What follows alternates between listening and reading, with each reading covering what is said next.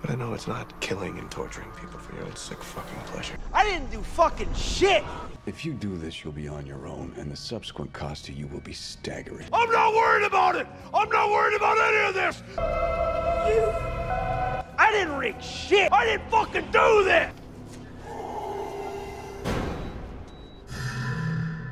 This world's fucking so fucked up. I'm done. Do what you want. Pull the plug. I'll kill you.